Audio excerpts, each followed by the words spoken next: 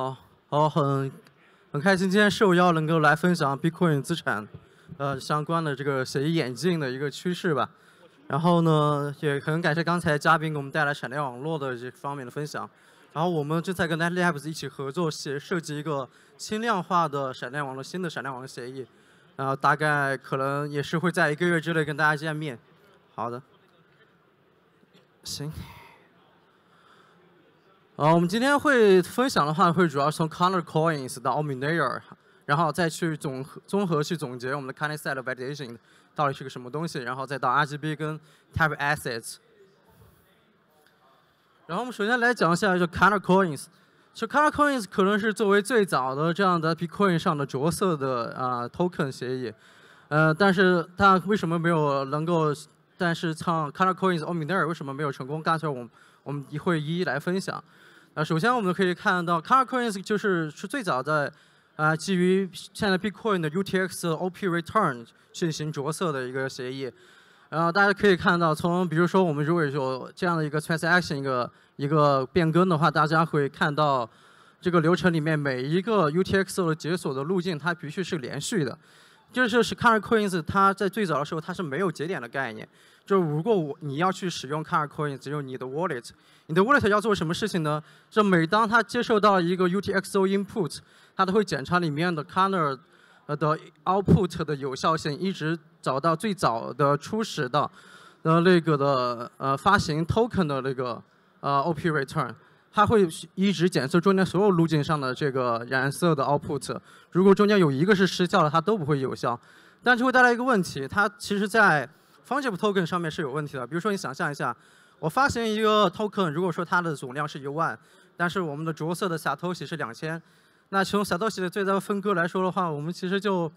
按照理论上就烟烟雾是五百七十四，对吧？那但是呃防 dust 的是五百七十四，但最后就是切四份儿但是你的你的 fungible token 肯定是不止切四份的，所以说 car coin 后面的验证还有它的使用带来极大的困难，而且你的钱包的负担会越来越重。然后就是是涉及到第二个后面去演进的些叫 Omnier，就是可能大家会比较熟悉的，也是最早进行 ICO 的货币叫 Mass Coin。它的区别在于，就是刚才我们看到 Counter Coin 它是对所有的 UTXO 进行着色，那 Omnier 呢，它是把所有的 transaction 给发布到了呃 Bitcoin 上，它利用 Bitcoin 相对它的 DA 层，它把自己所有的交互的操作发到了的 Bitcoin 的一个 output 上。当然，同样是基于 OP Return 来做的，这个就跟今天呢，其实我们是嗯在看到的，呃，像啊 BRC 二零 Ordinal 这种协议是一模一样的，啊，的区别在哪里呢？区别在于 Omnier 它会有非常多的节点，然后它的这些节点之间都会维护自己的链家数据库。大家可以看到图里面有 On-chain 和 Off-chain 两个层面。Off-chain 的其实你可以理解，今天像 Ordinal 协议里面的 Indexer 它会去链下存储一个。呃，with account DB 是每个人像账户模型的一个 balance 余额，但 Omnier 呢，它其实是非常多多个呃节点来做这些事情。如果说你不信任官方他去给你的这个，比如说你的余额的数字的话，你可以自己跑一个 Omn 节点，来来去做这个 balance 的一个校验。啊，这是一个相当于 Bitcoin 上苦时期两个比较有代表性的一个 token 协议。啊，这个时候呢，就在呃这个时期，呃。刚刚好就遇到了呃以太坊的啊这个 ICO 爆发，非常多人大家都在讨论，哎，为什么 B 呃以太坊可以有 ICO 的热潮，但是并不能在哎 Bitcoin 上生态其实有？那 Bitcoin 跟以太坊到底缺了什么？啊，所以说这个阶段这个阶段里面有人去呃思考的时候，就提出我们要在 Bitcoin 上去设计自己的更好的方剂和资产。然后这个呃，其实，那我们可以先来看这个，那其实就是，因为今天为了缩缩短篇幅，我们找一些呃这个技术定义。那我们可以直接看到 RGB protocol，就 RGB 的设计者他们认为，呃，以太坊跟 Bitcoin 呃相比的话，那 Bitcoin 缺什么？缺 VM，非缺 Smart Contract。那我们就可以在 Bitcoin 上面上去加入这个东西就可以了。那 RGB 的 protocol 怎么去做 smart contract 呢？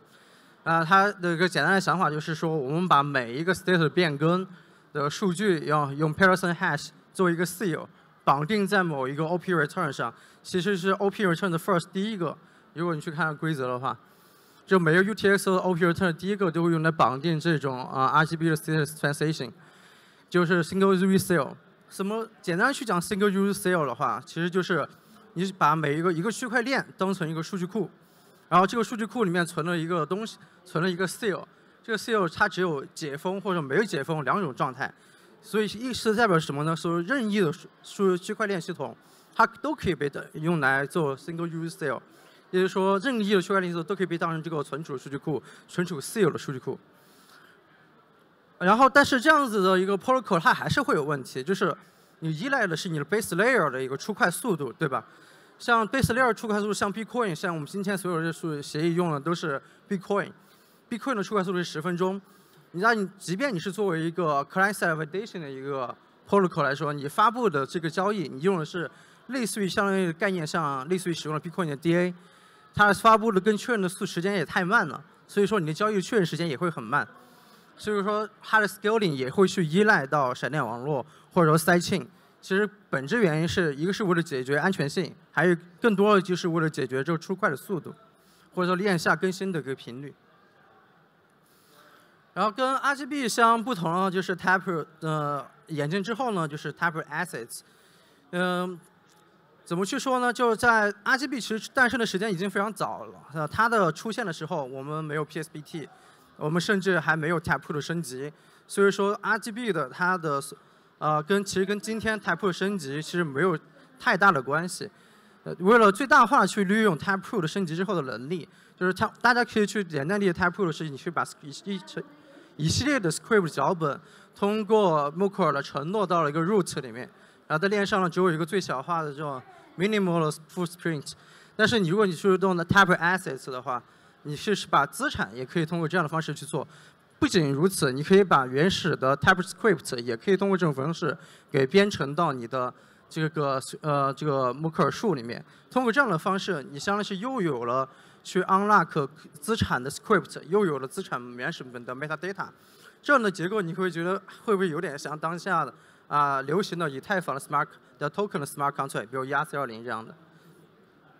啊，更重要的是，它这样的设计跟呃 RGB 最大不同就是，它用的是一个默克尔稀疏默克尔 sum tree。它通过这种方式呢，就是可以去实现清节点验证。这是在之前，像你去使用 Omi 那样去使像去使用 Countercoin 是使用 RGB，你需要去在 wallet 里面去。反复去验证所有的历史数据，还要要所有的历史数据是去 check check on-chain data 和 o chain transaction，这样的方式你才能去验校验自己的 input 是否有效。但是在 Taproot Assets，因为是默稀疏默克尔数，呃，稀疏默克尔 sum tree，你可以非常好以简单实现 like like client。然后的话，就因为这是 Taproot Assets 的设计方式是 lighting labs，lighting Labs 是。呃，市场份额占据，嗯，在闪电网络的市场份额在百分之九十以上的一个供应商，所以他们在设计的时候就考虑了跟 Taproot Channel 的一个亲和性，所以在 Taproot Channel，呃，最近的那个 Aggressive Channel 的这个升级之后，啊，Taproot Assets 会很容易进入到现在当下的 Taproot 呃 Lightning Lightning Channel 的一个流动中，呃，就这样子的话，就是 Taproot Assets 算是一个最新的一个。呃呃，Bitcoin 技术的一个运用的一个代表吧。然后，基于其实我们可以看到，像刚才我们讨论的，不管是 RGB 还是 Type Assets，它们跟 Omni-Layer 还有 Color Coin 最大区别就是，它们增加了 Client Validation 呃 Client Validation 的一个能力。Client Validation 的话，最大的特点它是 Off-Chain 的，